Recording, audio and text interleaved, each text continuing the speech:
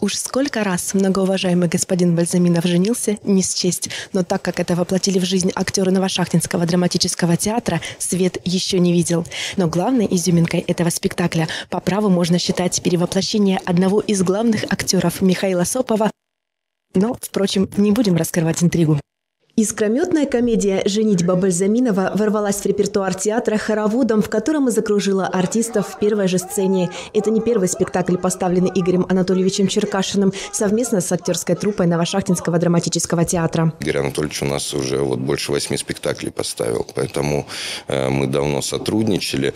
И так получилось, э, что был большой такой перерыв в нашей совместной работе, но мы очень рады, что наконец-то вот эта долгожданная встреча встреча состоялась. И вот э, «Женитьба Бальзаминова» выбрал Игорь Анатольевич эту пьесу, и мы все э, ждали этого. И ну, вот такая получилась чудесная работа. Благодаря творческому поиску режиссера мы можем не только любоваться оригинальным видением давно знакомого произведения, но и великолепной игрой актеров. Но главный сюрприз ждет зрителей при появлении в образе одного из главных героев комедии актера Михаила Сопова. Да, я думаю, в женской гримерке этому не обрадовались, потому что как бы женских ролей не так много в этом спектакле, и вдруг одна из центральных э, отдали мне. Ну вот так получилось. А там история была такая. Я давно как-то вот мечтал, вот как-то сначала в шутку, а потом, может, и не в шутку, говорил, я бы когда-нибудь хотел. Мне было бы интересно э, сыграть э, женщину, там, не знаю, в шуточном варианте или нет, но это, ну, другой мир и как бы эм, интересно с актерской точки зрения. И когда Игорь Анатольевич был эм, на фестивале «Поговорим о любви» на нашем, я поделился с ним э, вот этой мыслью и говорю, а, а вот женитьба, нет, нету, говорю, там никакой э, женской роли.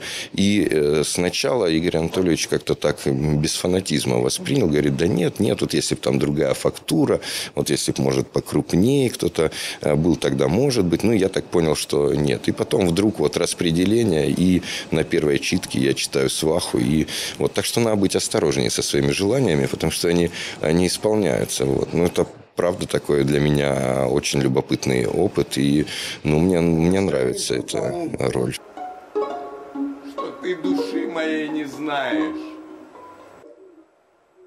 Вот этот персонаж для меня, он такой, он как бы, я, я его адвокат. То есть мне, мне очень э, нравится эта сваха, у нее своя правда, и она такая женщина интересная.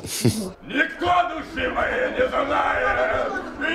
моих не может разгадать. Что она меня обманывать, маменька? Вот она сваха, она должна сватать, а не обманывать у меня часто, когда я нахожу смех персонажа, потом и персонаж э, получается. И вот когда я впервые нашел, как смеется сваха, ну, как, как-то и все остальное обросло тогда каким-то мясом. хоть и на так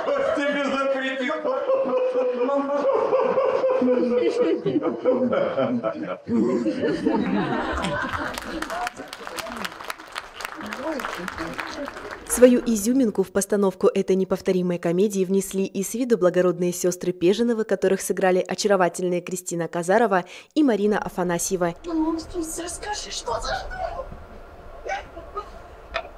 А! Лукьян, Лукьяныч, ну что ж ты, сестрица, как же это можно? Ну что ж такое? И хохотушка Матрена в исполнении Марины Кожушко.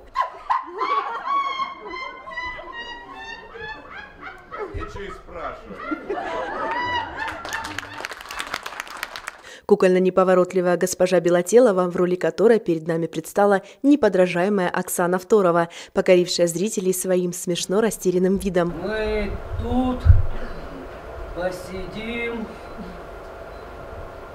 а потом в беседку пойдем. Там посидим, закусим.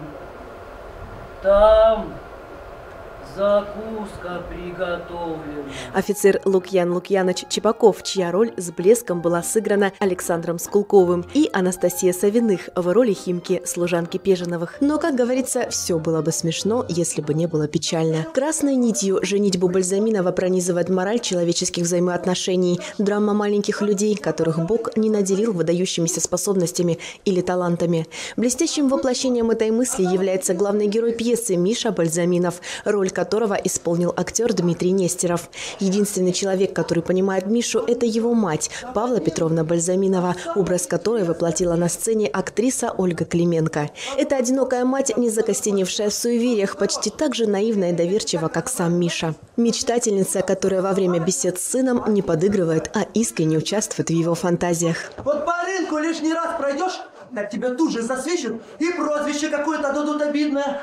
Вон, кучера сидят у всяких ворот. Толстые, как мясники. И то и дело, что со своими собаками играют да гладят их. А собаки, собаки-то, как львы. А ведь по нашему делу мимо окон, может, лишний раз так 10 пройти надо. А эти разве дадут? Тут же засвечут и кличку какую-то обидную дадут. А потом как начнут с собаками травить. Мам, да как же это можно? Живого человека-то собаками травить, а? А они разве знают учтивость? Да ему только хохотать, пока горло широко, а там хоть человека загрязи. А ему все равно. Ну, Какое необразование!